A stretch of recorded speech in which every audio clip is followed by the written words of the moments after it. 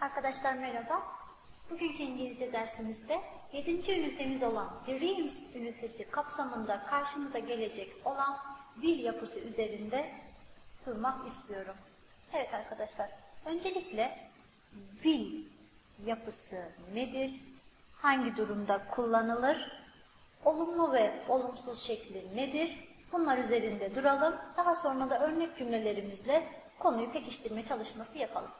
Arkadaşlar benim bil dediğim şey İngilizce'de geçmiş zaman ifadesinde kullanılan kavramdır. İngilizce'de geçmiş zaman Türkçedekinden birazcık farklıdır arkadaşlar. Biz İngilizce'de geçmiş zamanı iki ayrı dal ayırıyoruz. Birincisi planlanmış gelecek zaman, bir diğeri de planlanmamış. Yani olay esnasında olması muhtemel olan olaylardan bahsederken kullandığımız gelecek zamandır. Evet, biz peki bugün hangisi üzerinde duracağız? Planlanmamış gelecek zaman ifadesi olan future yani basit gelecek zaman üzerinde konuşacağız. Evet, future dediğim basit gelecek zaman gelecekte olması muhtemel olan olaylardan bahsederken ya da olmasını tahmin ettiğimiz olayları ifade ederken kullandığımız bir yapıdır.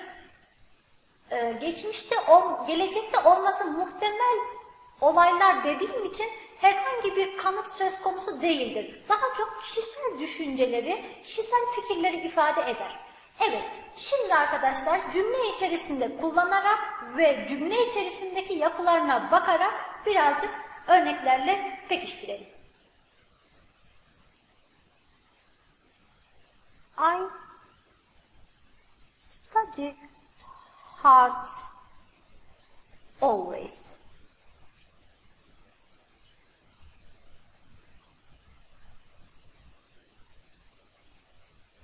Evet. Ne demek istiyorum bu cümlede? I study hard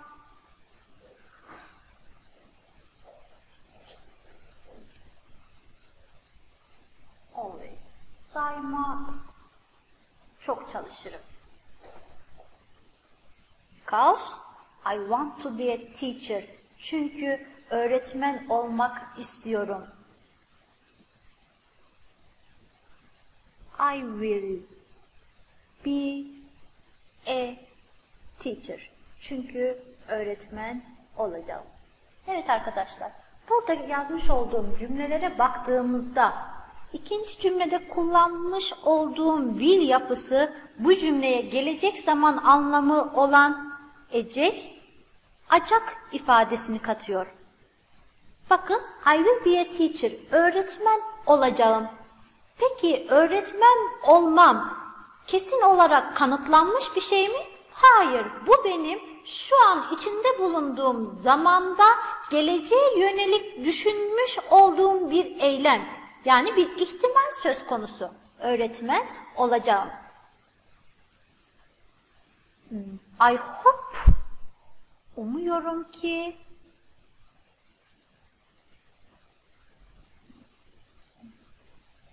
good days will come. Umuyorum ki güzel günler gelecek.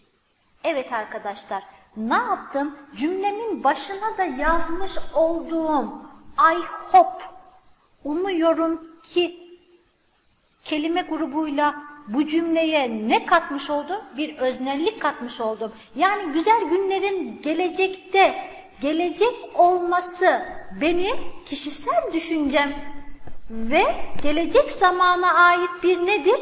Tahmindir. Bugün yarının bana güzel günler getireceğini ne yapıyorum? Tahmin ediyorum ve cümleme gelecek zaman anlamında olan ecek acak kavramını neyle katıyorum? Will katıyorum. Evet arkadaşlar, gelecek zamanda cümle kurarken cümlemin içerisine yerleştirmiş olduğum will baktığım zaman cümlemde nerede kullanıldı? Evet bakıyorum. Özneden hemen sonra yani özne dediğim cümlede işi gerçekleştirecek olan şahıstan hemen sonra ne yaptım? Will yapısını kullandım. Bu evet bu her zaman I olmayabilir. Diğer şahıs zamirleriminde herhangi birisini kullanabilirim. O zaman ne yapıyorum? Şahıs zamirim hangisi olursa olsun I, you, we, they, he, she, hiç fark etmez. Cümlede işi yapan kişi kimse will ondan sonra gelir. Evet. Ee, hemen şurada bir örnek cümleyle tekrar bakalım. I will go to the school tomorrow. Ne yapacağım? Yarın okula gideceğim. Yarın okula gidecek olma durumunu cümleye neyle vermiş oldum? Will. Gelecek zaman ekiyle gördüğünüz gibi vermiş oldum arkadaşlar. Peki cümlede will'den sonra gelen fiil yani cümlenin yüklemini ifade eden kelime ne halinde? Bakıyorum hemen gideceğim. Gitmek fiilim olan go. Ne halde? Evet. Verb 1. Yani yalın halde. Yalın halde demek ne demek? Cümlemin yüklemi önüne ya da sonuna hiçbir ek almamıştır. Fiilin birinci haldedir yani yalın haldedir. O zaman toparlayacak olursak gelecek zamanda cümle kurmak için cümleme gelecek zaman ifadesini yani ecek acak anlamını neyle katıyorum? Will yardımcı fiiliyle will'den sonra kullanılan ana fiilim ne halde? Yalın halde yani verb 1 dediğim yalın şekilde kullanıldı. Bize cümlenin gelecek zamanda yapılacağını ifade eden belirli zaman kavramları vardır. Bu zaman kavramlarının içerisinde kullanılmış olduğu cümleler bize genellikle o cümlenin gelecek zamana ait olduğunu ifade eder. Örneğin nelerdir bunlar?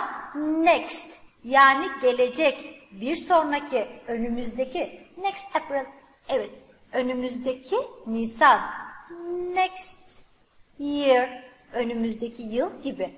Ya da biz şu an 2020 yılındayız. Önümüzdeki sene gerçekleşecek olan bir olaydan bahsediyorsam o zaman ne yapıyorum? Yılların önünde in kullanarak in 2021 şeklinde ne yapıyorum? Gelecek zamana ait olan bir tarihi belirtebiliyorum. Ee, ya da soon kelimesi var. Neydi bu soon kelimesi? Daha önce de çok kez karşımıza çıkmıştır. Gelecekte, yakında zaman ifadelerini kullanabiliyorum. Evet arkadaşlar, şimdi son olarak bu bölümde göreceğimiz şey will yapısının olumsuz halidir. Ben gelecek zamanda olumsuz cümle kurmak istesem, cümleme olumsuzluk anlamını ne ile katarım? Bir de buna bakalım. Bildiğiniz gibi İngilizce'de her zaman olumsuzluk anlamını veren not kelime acaba gelecek zaman ifadesi kullanırken cümlemin neresinde kullanılacak? Hemen buna bakalım. İsterseniz aynı cümle üzerinden not olumsuzluk ekini getirerek olumsuz cümle yapmayı görelim. Önce öyle olumlu bir cümle yazıyorum. I will invite my grandma to my birthday party. Evet. I will invite my grandma to my birthday party. Ne yapacağım? Büyük annemi doğum günü partime davet edeceğim. Gelecek zaman anlamını neyle kattım? Will ile kattım. Will'den sonra kullanmış olduğum davet etmek fiilim. Bakıyorum ne halde? Yalın halde invite. Birini bir yere davet etmek. Baktığım zaman kelimemin ardına ya da önüne hiçbir ek getirmediğim için buna ne halde diyebilirim? Yalın halde. Peki ben aynı cümleyi olumsuz cümle yapmak istesem, yani büyük annemi doğum günü partime davet etmeyeceğim şeklinde bir ifade kullanmak istesem, cümleme olumsuzluk anlamını neyle veririm? Not olumsuzluk neyle? Ekiyle. Peki bu not'ı cümlemin neresine yerleştirmem gerekecek acaba? Evet arkadaşlar not'ı cümlemde will'den hemen sonra asıl fiilimden hemen önce yani will ile fiilimin arasına ne yapıyorum? Not olumsuzluk ekini getiriyorum. I will not. Peki ben bunu başka bir şekilde ifade edebilir miyim? Tabii ki edebilirim. Will ve not'ı birleştirerek ne yapıyorum? Kısaca won't. Evet. Won't nedir? Won't gelecek zamanda kullanılan will, ecek, acak ekinin ne halidir? Olumsuz halidir. Cümlede nerede kullanılır? I, you, we, he, she, it şahıs zamirlerinden sonra kullanılır. Cümleye olumsuzluk anlamı katar. Hangi zamanda? Tabii ki gelecek zamanda. Ee, evet arkadaşlar ne yaptık? Şu ana kadar gelecek zamanda will yardımcı fiiliyle olumlu ve olumsuz cümle kurmayı görmüş olduk. Ee, peki arkadaşlar benim burada kullanmış olduğum will ya da won't gelecek zaman kavramları kullanıldığı şahsa göre değişiklik gösterir mi? Hayır, kesinlikle göstermez. Cümlede işi yapan kişi kim olursa olsun, ister I olsun, ister she olsun, ister he olsun, kim olursa olsun mutlaka gelecek zaman anlamını will'le veriyorum. Eğer will'i gelecekte olumsuz yapıya dönüştürmek istiyorsam o zaman da neyi kullanıyorum? Want'u kullanıyorum. Evet, isterseniz ne yapalım? Şuradan bir örnek cümleye bakalım.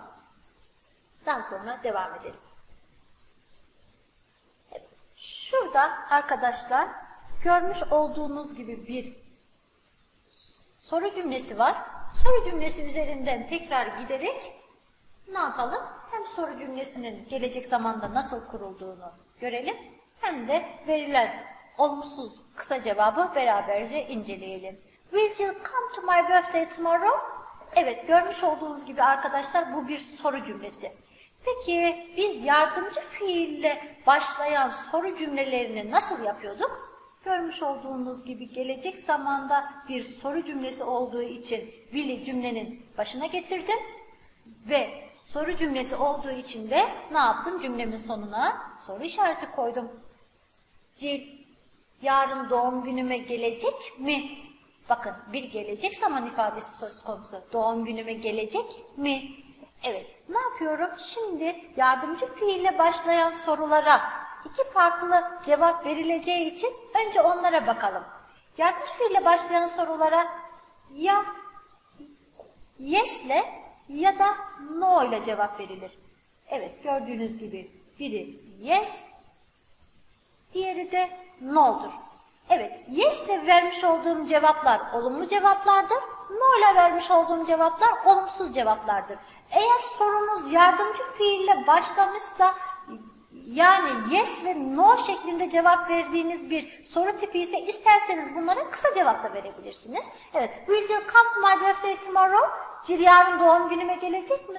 No, he won't. Hayır, gelmeyecek. Görmüş olduğunuz gibi ne yaptım? Kısa, olumsuz cevap verdim. Evet, aslında şurada görmüş olduğum won't, yani no he won't cümlesi hangi cümlenin kısaltılmış halidir? No, he won't come to my birthday tomorrow. Hayır, yarın benim doğum günüme gelmeyecek cümlesini ne yaptım? Uzun uzun tekrar yazmamak için no he won't diyerek kısa bir cevap vermiş oldum. He got injured in the football match today. Evet, he got injured in the football match today So he won't come to my birthday party. Evet doğum günü partime gelmeyecek çünkü bugünkü futbol ma maçında ne yaptı? Yaralandı. Evet. Gelmemesinin sebebini de bir sonraki cümleyle ne yapmış oldu? Bize bildirmiş oldu. Evet arkadaşlar sonuç olarak cümlelerimizi toparlayacak olursak geçmiş zamanda will yapısıyla e, cümle kurmak istiyorsak eğer ne yapmamız lazım? Will yani ecek acak ekimizi cümlede şahıs zamirimizden hemen sonra getirmemiz lazım. Unutmuyoruz will'den sonra gelen fiilimiz her zaman yalın haldedir. Will yapısını olumsuz cümle içerisinde kullanmak istiyorsam will'in yanına olumsuzluk ekim olan not'ı getiriyorum. Bunu da kısaca want olarak ifade ediyorum. Eğer yardımcı fiille başlayan bir soru cümlesi yapmak istiyorsanız, yani şu örnekte gördüğümüz gibi ne yapıyorum? Yardımcı fiilimi cümlenin başına aldıktan sonra şahıs zamirimi kullanıyorum ve yardımcı fiille başlayan sorulara iki farklı şekilde cevap verdiğini unutmuyoruz. Bunlardan birisi olumluluk ifade eden yes'dir, diğeri de olumsuzluk ifade eden no'dur. Evet arkadaşlar, bugünkü dersimiz bu kadar. Bir sonraki derste görüşmek üzere, hoşçakalın.